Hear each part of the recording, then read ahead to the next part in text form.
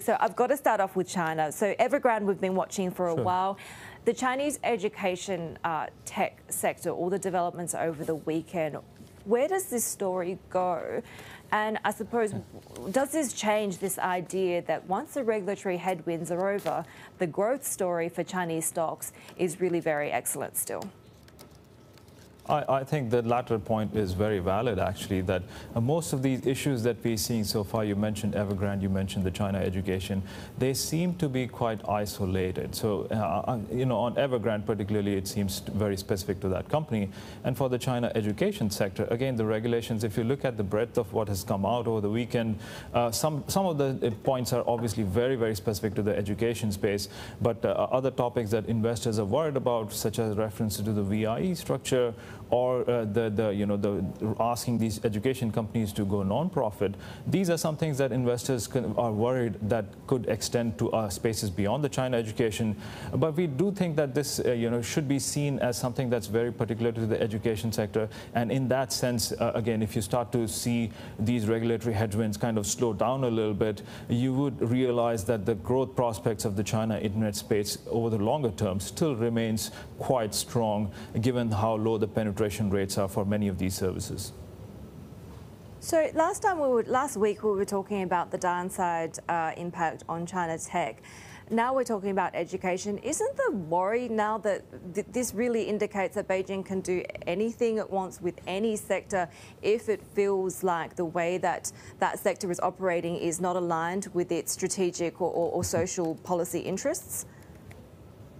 Uh, so there's there's two points to this, right? First of all, you have to uh, admit that pretty much any government can become interventionists in, in the private sector if they choose to do so. In China, this has always been the case. So investors have always worried about regulation, about the stance of the government, and investing in China has been, uh, you know, partly inclusive of these concerns. So if you look at the China internet space, for example, uh, in terms of relative valuations versus the U.S. internet space, it's trading at the deepest discount that we've ever seen. So you know coming from uh, 2011, 2012, when uh, Chinese internet stocks were actually trading above US internet valuations. Now it's down to 0.65 or 0.6 times the valuations of the China internet, uh, of the U.S. internet stocks.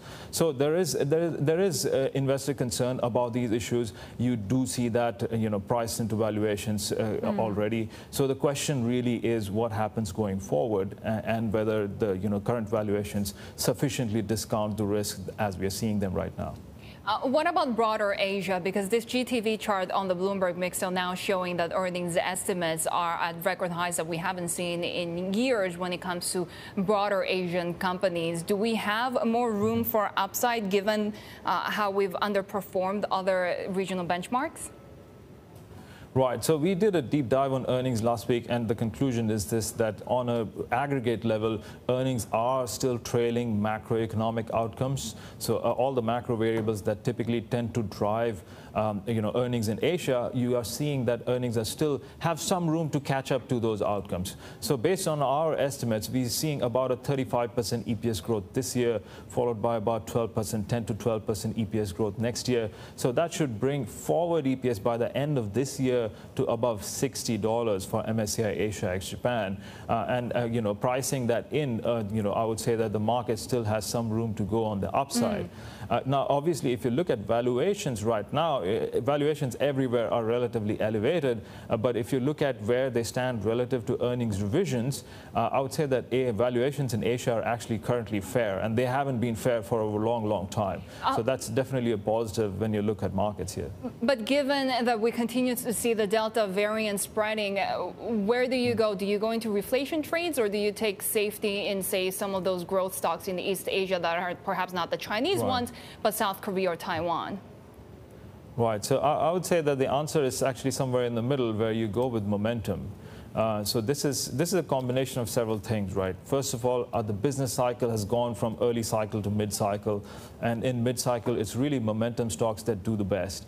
Uh, secondly, you're seeing a spread of this Delta variant, which will probably put some pressure on reopening trade, at least for some time before we start to see that picking up again. It's already happening in developed markets. It will probably come to Asia at a slightly later stage, and that'll happen too. And in terms of bond yields, they've been stuck since the FOMC in June has kind of muddied the the Fed's reaction function.